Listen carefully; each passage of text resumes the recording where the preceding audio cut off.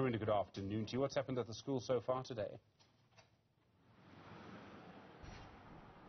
Good afternoon. Well, so far, finally, parents hearing that an investigation will get underway into long-standing claims of racism emerging at the uh, Girls High School in the Bluff near Durban.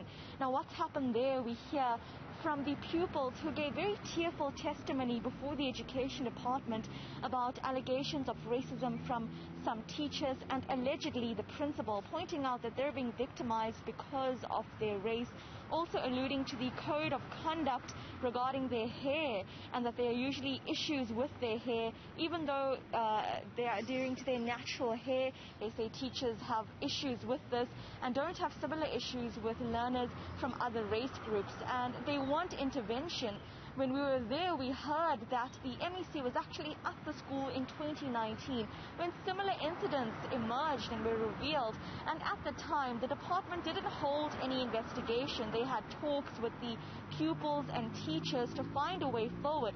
But today, the KZN Education MEC saying they won't make that mistake again. By Friday, an independent panel will be appointed and they'll interview pupils, uh, they'll interview parents, SGB members, teachers, staff, um, as well as the principal to find a way forward. By 21 days, that investigation will be concluded and a report will be handed in to ascertain what exactly has been happening at the school and who must be held accountable, who are the culprits of this apparent racism that's been taking place at the school. From what we hear over the years now, not just uh, since January when the first incident of racism was reported for just this year and ultimately led to the protests and this meeting.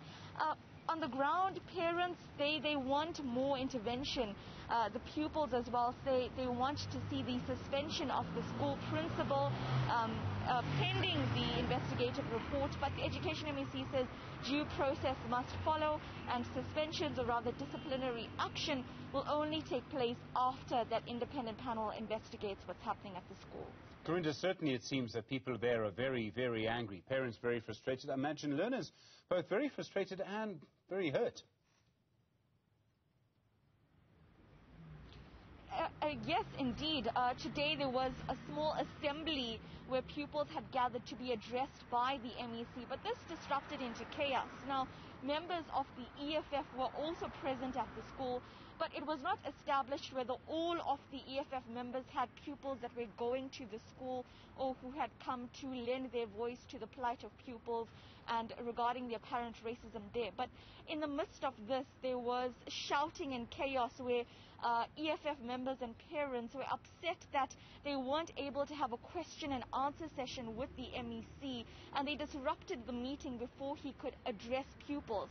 After they left, police had escorted EFF members out uh, and after a brief meeting with parents, uh, uh, parents were also escorted out and the pupils had gathered in a school hall to be addressed by the MEC. And when they actually spoke to him and, and detailed some of what they had been experiencing, one learner broke down into tears uh, over what had happened. And, and what we can see is they feel that they are not being represented at the school. They want immediate intervention. And the department says that if immediate intervention is necessary uh, before the 21 days, before the investigation can be complete, they will indeed embark to do so. Uh, teaching and learning will resume as normal uh, for the next few days, but it will be interesting to see on the ground uh, how uh, pupils will handle what has happened at their school. Already parents say that they're unsure how this investigation and this panel is going to work.